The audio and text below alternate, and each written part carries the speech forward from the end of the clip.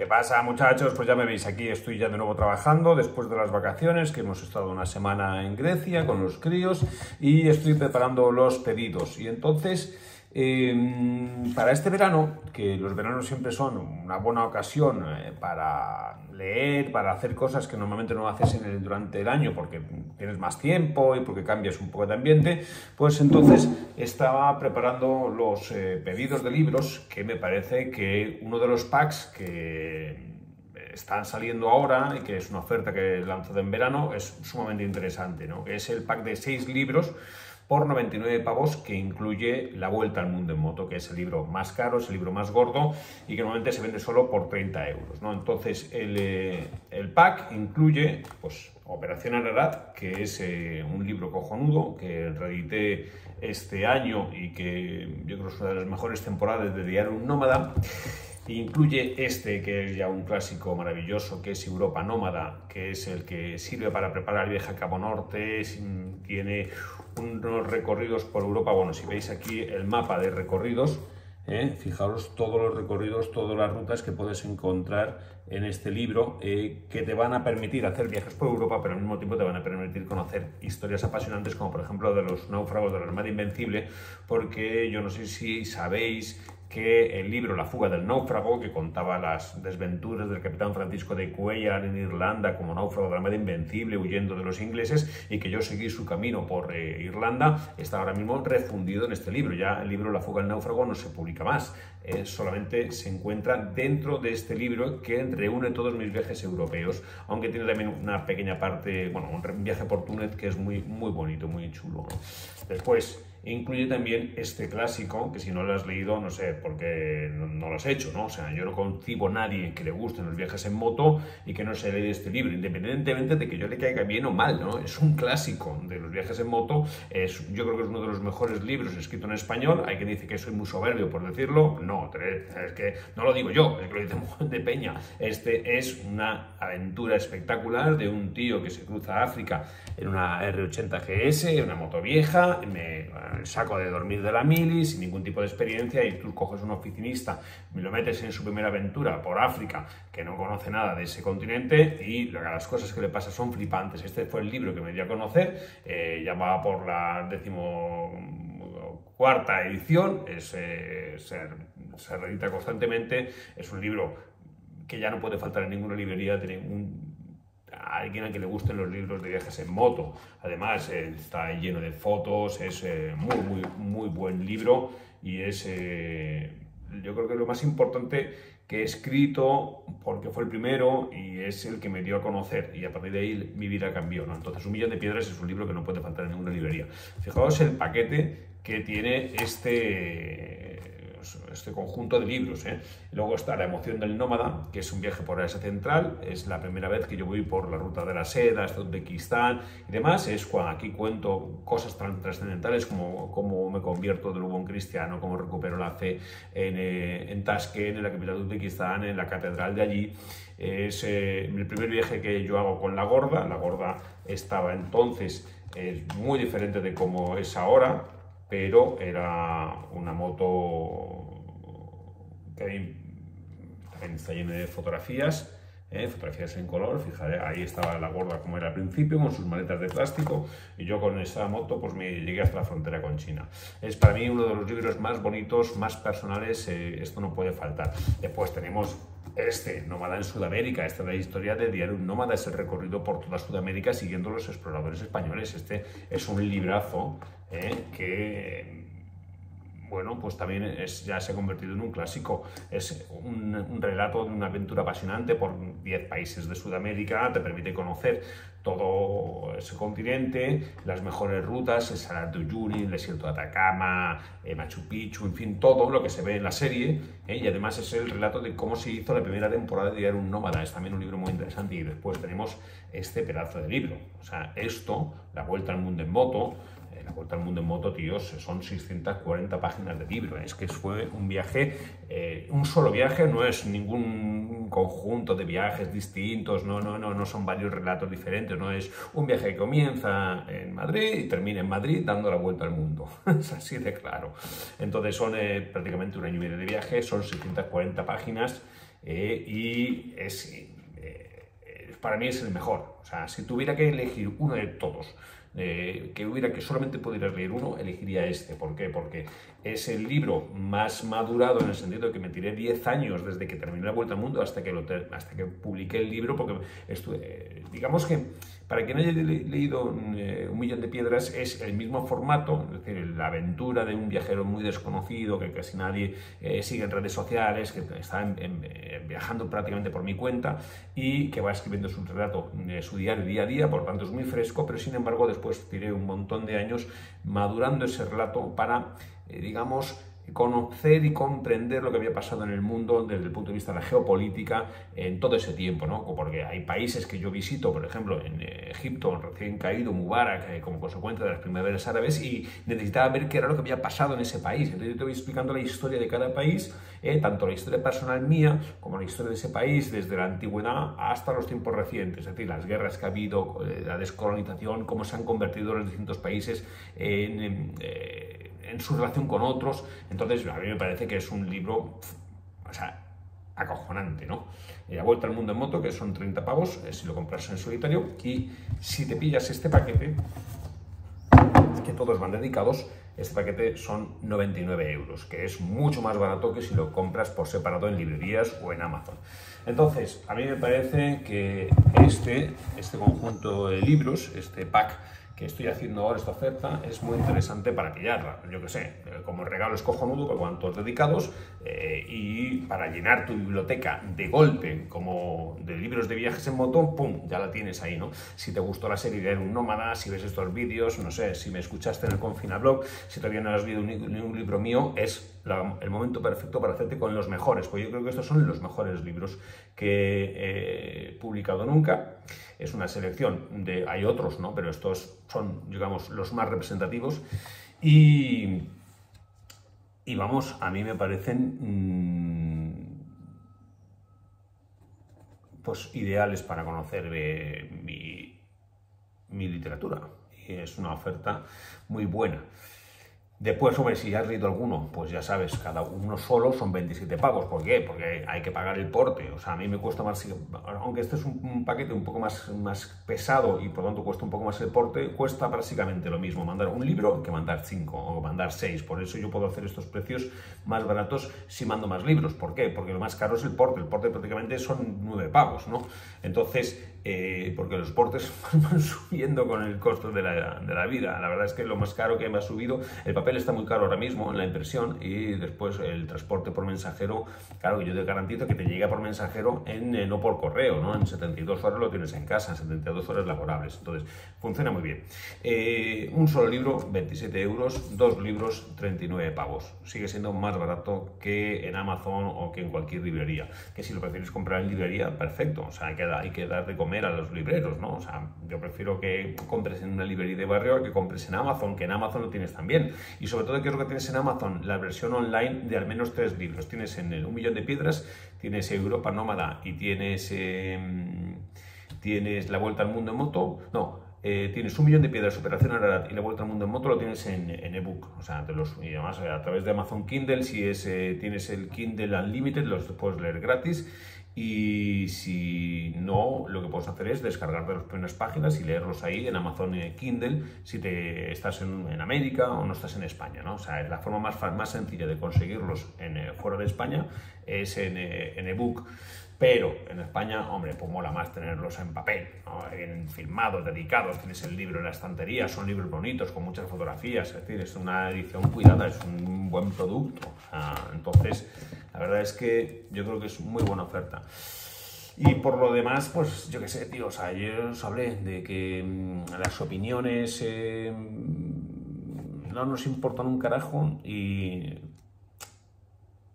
y la verdad que me afirmo en esto, porque es que nosotros prácticamente no tenemos una idea clara de lo que está sucediendo en el mundo, nos informamos a través de las redes sociales y todo lo que nos llega está manipulado. Ya os he dicho que las noticias siempre vienen con un sesgo y las opiniones vienen con un sesgo. Y además, eh, lo más triste, lo más feo de todo es que estamos recurriendo mucho en esta situación actual al y tú más, ¿no? O sea, a mí me parece, eh, digamos, si por ejemplo, por ejemplo, por poner un ejemplo, Eh, uno utiliza, un político utiliza medios públicos para usos privados, para fines privados.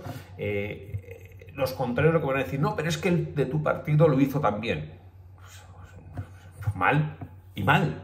No es que no se justifica eh, porque lo que hace el mío o porque el otro lo hizo, ¿no? sino es que es lo deplorable de la situación es que lleguemos a esos argumentos, que no son argumentos en realidad, es el argumento del y más, es el argumento ad hominem, ¿no?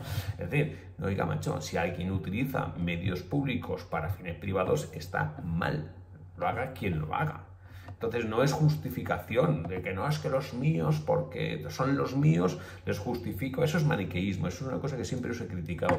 No, no, no considero yo que se deba, digamos, eh, evaluar eh, con criterios distintos los hechos, los mismos hechos, en función de quién los realice. Porque eso es directamente eh, la supresión de la igualdad, la supresión de la justicia.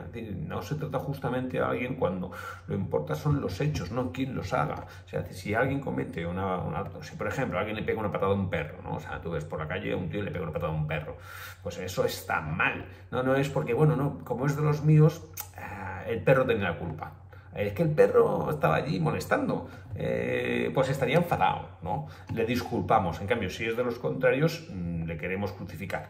Entonces, eh, esto es a mí lo que me parece que estamos deslizándonos en esta senda en la que mm, buscamos eh, justificaciones para los que en, en, principio piensan como nosotros, que en realidad no piensan como nosotros, porque es que en realidad los dogmas van cambiando eh, y simplemente en función de si son los nuestros quienes eh, imparten los nuevos dogmas, los asumimos también, porque es que muchas de las cosas que se plantean ahora, pues a mí me parecen barbaridades, en un sitio y en otro sitio. ¿eh? O sea, a mí es que los, a los extremos me aterran, o sea, me parecen que estamos ante propuestas disparatadas.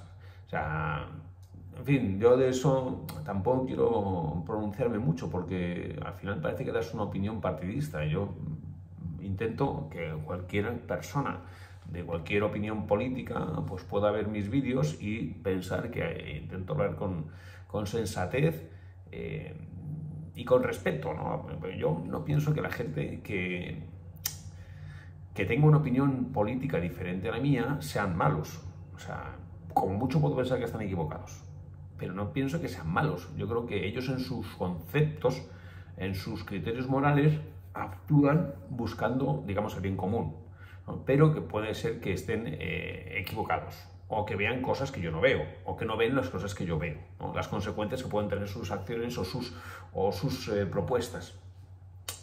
Pero dividir el mundo entre buenos y malos, pues solamente puede llevar a la desesperación porque entonces te ves rodeado por la maldad. Y si tú piensas que estás rodeado de maldad, eh, lo único que, que, tienes es un... Lo, lo, que te, lo que se te mueve dentro es el afán justiciero de castigar al malo. Y ver a nuestros vecinos, a nuestros convecinos, a nuestros conciudadanos como malos que merecen castigo, porque no es que estén equivocados, sino es que son moralmente malos, solamente puede dirigirnos hacia un abismo de acción-reacción. Y porque todas las acciones tienen consecuencias. Si tú tratas de castigar a alguien, el castigado pues se revuelve y te, te, intenta devolver el golpe. Entonces, así es como solamente podemos dirigirnos hacia la mutua destrucción.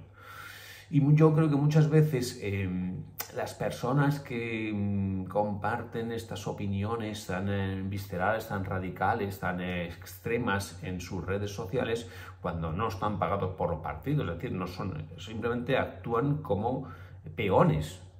Es decir, porque cuando tú, por ejemplo, me parece perfecto que tú tengas tu opinión ¿no? sobre cualquier tema. Cuando tú mm, pones en, eh, post en las redes sociales ¿no? sobre político, pues es un hijo puta, pues es un ladrón, pues es tal, pues es cual. ¿Tú crees que eso va a convencer a alguien de votar o no votar a esa persona? Como mucho, lo que te va a generar es el aplauso de los que están en la misma línea y el rechazo de los que están en la contraria. Pero ¿cuántos crees que vas a convencer de los contrarios con, un meme, ¿no? Con un meme. Con un meme sobre política. ¿Cuántos crees que vas a convencer del lado contrario para que voten a los que tú consideras buenos? Yo creo que ninguno. O sea, entonces, ¿cuál es la finalidad? Simplemente convertirte en la fuerza de corps de los partidos que lanzan ahí a los bots y a los que no son bots, a los que realmente se creen estas cosas y, montan y, y, entonces se genera un ruido, se genera un pozo, se genera una, un, o sea, es que ahora mismo tú entras en cualquier muro de Facebook de cualquier persona y enseguida en cuanto se, pierden amigos, o sea, dices estas cosas, eh, pones un meme de un político, los contrarios se te encabronan y te entra gente que, porque los más extremistas son siempre descerebrados, pues em, entonces a mí yo pienso, ¿cuál es la finalidad? Porque tú me dices, no, es que quiero expresar mi opinión. Bueno, ¿quieres expresar tu opinión para qué? Porque expresar tu opinión es para algo. Eh, quiero expresar mi opinión. ¿Cuál es el sentido de expresar tu opinión? O sea, expresar tu opinión se supone que es para intentar convencer a alguien con argumentos de que vea las cosas como las ves tú. Porque si, lo que te, si expresar tu opinión es simplemente escupir tu opinión para molestar a alguien que no piensa como tú, entonces ya no es, es mm, no sé, ya no le veo una finalidad positiva. Ya no es constructivo, es simplemente soltar un exabrupto para tocar los huevos. Eso puede ser un desahogo, ¿vale? Puedes estar, puedes estar cabreado. Entonces ya no es expresar tu opinión, ya es eh, desahogarte. Pero, ¿en qué medida eso construye una vida mejor para ti? ¿Y en qué medida construye, una vida mejor para todos? ¿En qué medida colabora en tu enriquecimiento personal, a tu, tu mejor salud, tu mejor estado, tal, ¿no? O sea, escribir aquí, sois unos hijos de puta, los de este partido son unos hijos de puta, no sé qué, no sé cuánto, ¿no? Y en qué medida ese ruido que no va a convencer con argumentos a nadie de que vote tu opción o de que se decante por tu opción, va a, mejorar la sociedad, es decir, el, conjunto. A mí eso es lo que me, me, resulta llamativo de, las, sobre todo este periodo preelectoral que, en el que estamos, donde está todo súper encrespado, súper polarizado y que puede haber motivos para el desacuerdo. De hecho, hay muchísimos motivos para el desacuerdo, pero mm, cuando no tienes argumentos y simplemente utilizas los argumentarios tergiversados que te, que te, suministran los, digamos, opinólogos de uno y otro lado, tú no estás mejorando el, debate, no estás mejorando la situación, tú estás introduciendo más y más mierda dentro de la sociedad. ¿Cuánta mierda puede aceptar la sociedad antes de que afecte a todos? y nos encabronemos unos con otros hasta límites mm, de difícil solución.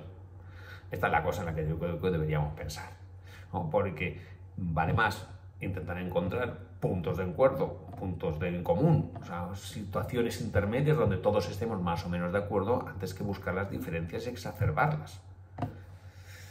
Bueno, quizás yo sea un moñas pensando estas cosas, ¿no? Intento mm, utilizar eh, los razonamientos eh, para llegar a conclusiones y de hecho de, eso a mis libros. O sea, cuando yo viajo por el mundo trato de mirar al otro con cierta curiosidad, sin juzgarle, para conocerle y pensar que sus decisiones y su forma de comportarse proceden de su educación, de su situación, no se puede comparar mi formación y mi forma de actuar con cuando yo llego a Filipinas que con un filipino de allí que prácticamente vive, vive el día. Entonces, bueno, pues tienes que conciliar lo que tú ves con lo que tú piensas, con lo que tú traes de tu mochila o lo que te vas a encontrar. Intentar no dar lecciones a nadie y simplemente buscar el punto en común o el punto de acuerdo o el común denominador que tenemos ese filipino y yo, para entendernos.